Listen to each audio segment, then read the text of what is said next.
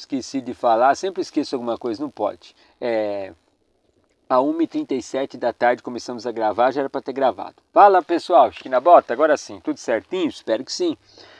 A notícia acontece, arruma aqui, arruma lá, vem daqui, vem dali. Seu parceiro de sempre, na medida do possível, Fabiano Cavalari aparece.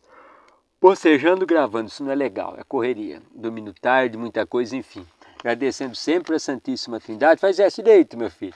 Eu só junto o carinho de vocês. A vocês que estão chegando, sejam todos muito bem-vindos. Na mesma folha do caderno, pesquisando no Google, no próximo dia 10 de janeiro de 2004, quinta-feira, o Botafogo Futebol Clube de Ribeirão Preto enfrentou a América do Rio Grande do Norte, de acordo com uma imagem que foi postada no Instagram. Olha só, do Botafogo Futebol Clube de Ribeirão Preto. Eu esqueci de colocar, como com a informação completa, é pela Copa São Paulo de Futebol Júnior 2024, certo, pessoal? Porque são vários campeonatos, né?